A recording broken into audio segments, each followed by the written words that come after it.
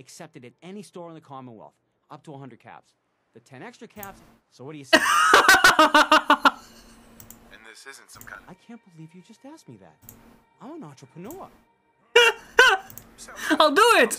What a deal. Take your money and you get the charge card. Retard.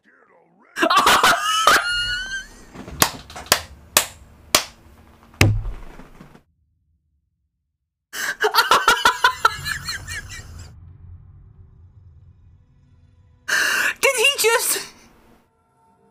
Did he just call me the R word? what?